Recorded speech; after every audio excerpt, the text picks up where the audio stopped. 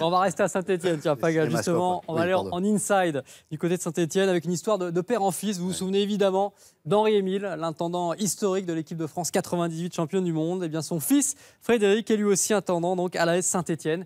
C'est le membre le plus ancien du staff des Verts. Quel est donc son rôle dans le vestiaire et les jours de match? Il nous a ouvert donc les portes de Geoffroy Guichard à nous, à Lorraine Christophe Lourd et à Pierre Gracio.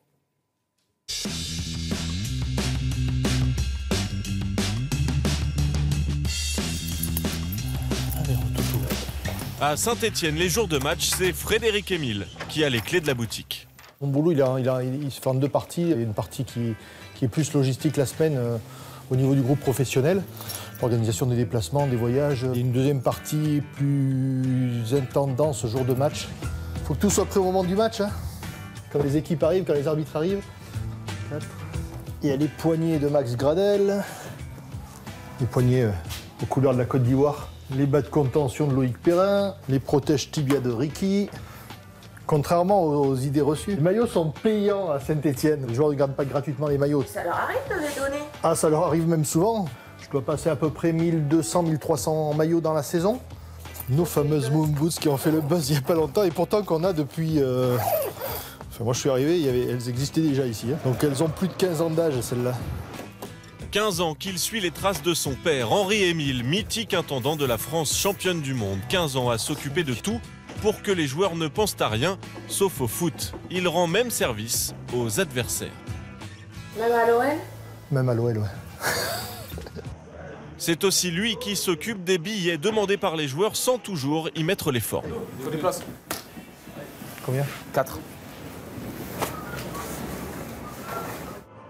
Fonction officielle aussi, Frédéric s'occupe de choisir les maillots et les chasubles qui conviennent à l'arbitre. Euh, alors nous on est en noir, donc euh, eux ils n'avaient pas prévu. On va les laisser en orange et vous en jaune. Juste avant le coup d'envoi, Ricky von Wolfswinkel fait une petite blague à Frédéric qui lui demande un manteau pour se couvrir. Mais en fait, il en avait un sur les genoux, sacré Ricky. En tout cas, Frédéric Emile est très proche des joueurs. Frédéric est capable de me faire remonter euh, euh, des, choses importantes sans, sans aller trop loin par rapport à la confidence qu'il peut avoir avec des joueurs. Ça, c'est important.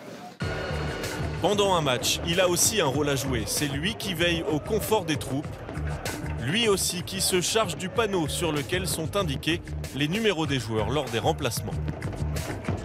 Saint-Étienne s'impose 2-0, l'occasion de demander aux Verts ce qu'ils pensent de leur intendant. Mais avec le président remeillé dans les parages, c'est pas évident. Bravo Très très important. Et il fait beaucoup beaucoup de bien.